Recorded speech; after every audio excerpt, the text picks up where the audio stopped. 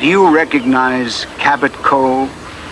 It's the deceptively peaceful little town Angela Lansbury calls home in Murder, She Wrote, one of television's all-time favorite mystery series. Hey, you, Mr. Fisherman, uh, uh, you shouldn't be fishing in those waters there. Uh, yeah, there, has been shark attacks there. Yeah, uh-oh, uh-oh. hey, hey, you better get going. Whoa, hey, hey, you, hey, whoa, whoa, now, folks. Folks, don't look at this. Whoa, oh, my gosh. Oh, that's it. Well, he has got.